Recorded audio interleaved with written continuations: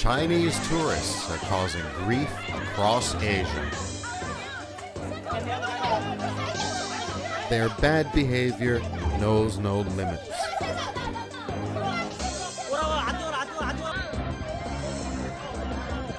Free food, you say? Don't mind if I do.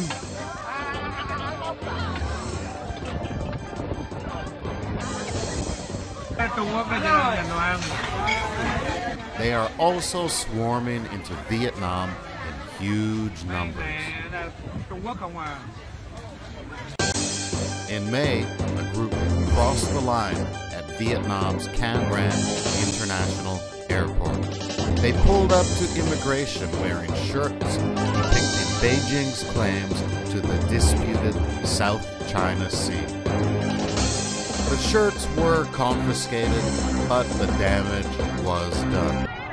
Protesters swept across Vietnam, demanding justice.